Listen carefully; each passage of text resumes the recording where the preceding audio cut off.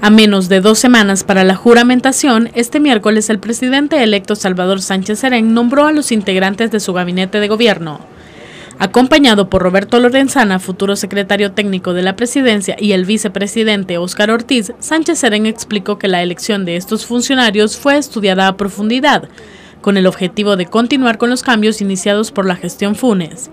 Destaca en los nombramientos el diputado Benito Lara como ministro de Justicia y Seguridad, la continuidad de David Munguía Payés en el Ministerio de Defensa y Carlos Canjura como ministro de Educación. A ir en el sentido de fortalecer la cultura de transparencia, de austeridad, de racionalidad en el gasto, de disciplina en el gasto y también garantizar una administración con elevados niveles de eficiencia.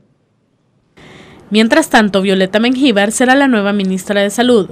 Otros rostros políticos conocidos como el de Luz Estrella Rodríguez ocupará el viceministerio de Economía. Y en Obras Públicas se reconfirma la continuidad de Gerson Martínez, pero esta vez tendrá como compañero al viceministro Eliud Ayala. Al Ministerio de Trabajo llegará Sandra Argueta y a Gobernación Aristides Valencia. Al Ministerio de Agricultura Orestes Ortez. Con personas que no son del FMLN, pero que tienen primero un compromiso con el país. Segundo, un compromiso con el programa de gobierno construido a partir de todo este proceso electoral.